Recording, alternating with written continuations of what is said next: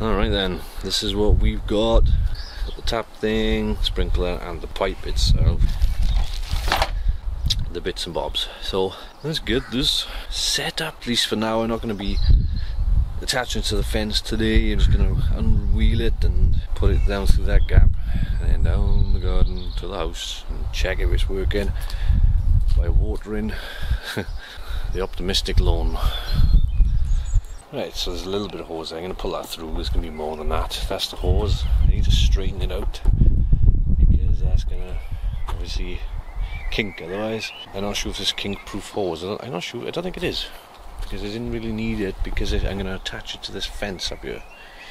So once I attach that, obviously there's no way it's ever going to kink because it's not going to be flapping around the place or flopping around the place. So, as I said, though, I'm not going to be securing it to the fence today. I'm just literally just stretching it out so it can stretch its legs. Right, connectors are all there on the tap. I'll show you that in a sec, though. Alright then, it is all connected up, up, up, up, up. And a moment of truth. I put the Karcher end on it. Not this. I don't think I'll be keeping this end on it. Ah, I'm gonna do this with one hand now. Look, it can be done. Two hand job it is. Hey, we got water.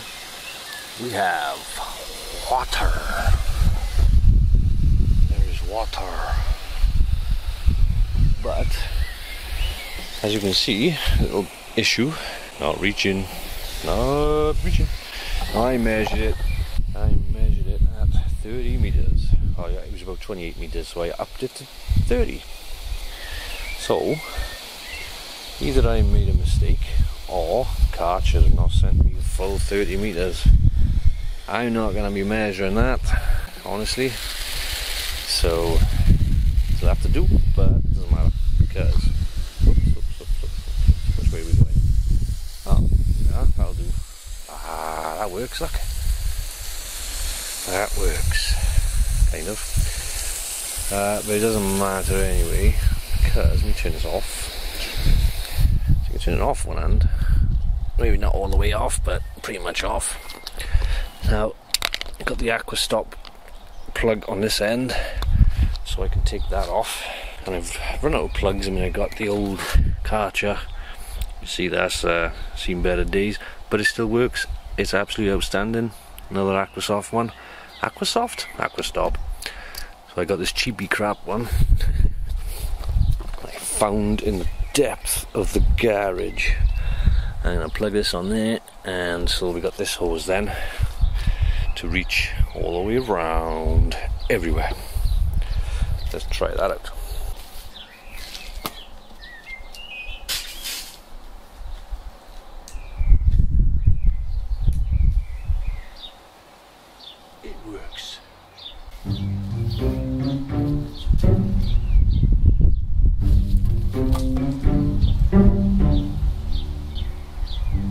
Alright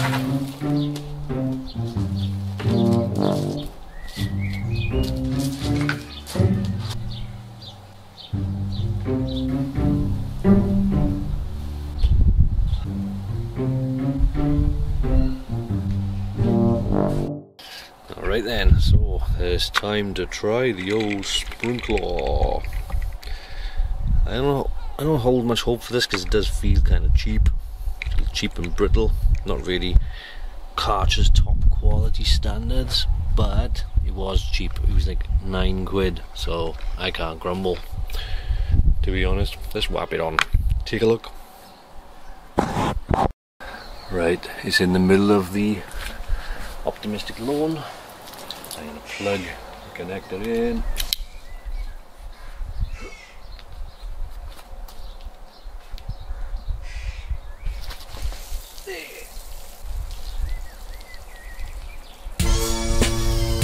Actually works. Look at that. I didn't expect it to work. That's quite a cool little fact as well. Zoom it all in. That's awesome. That's a you know, it's about the right kind of size. It's not quite getting the corners though. So when you're coming up as far as like the pool there, where that pup is, right there. coming a bit further than that to be honest. Circle. I don't know whether you can adjust the yellow bits on the ends. I don't know what they actually do, whether they'll squirt further or whether they just squirt in a different kind of pattern or something. I don't know. So, let's have a closer look. Yeah, it's coming right up to there. As you can see, not quite getting the edges. A little splash every so often. But I, didn't even expect it to work really at all. So there you go, kind of works. I can see the middle is going to get quite wet though. You see a circle formed around it already, so that's a problem, potential problem for a new lawn because you don't want puddles like that. Also, I heard in the one video that I watched on how to make a lawn, and I skipped through half of it. So anyway, moving on. So um, yeah, let me fiddle with those yellow things. I'll see what they do. Alright, so I twisted the yellow things. They turn out they just twist. Right, turns out the yellow things just twist so you can get a better spread. So let me plug this back in.